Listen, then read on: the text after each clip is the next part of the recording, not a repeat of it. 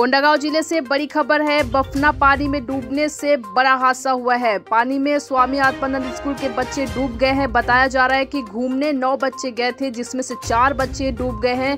दो बच्चों की बॉडी निकाली गई है, दो अभी भी पानी में डूबे हुए हैं। तीन के इश्काल के एक कोंडागांव के बच्चे हैं। फ़िलहाल रेस्क्यू ऑपरेशन जारी है। बता दें, इस वक्त कोंडागांव ज़िले से बड़ी खबर है, जहाँ पे पानी में स्कूल के बच्चे डूब गए हैं। कोंडागांव से योगेश पांडे की रिपोर्ट।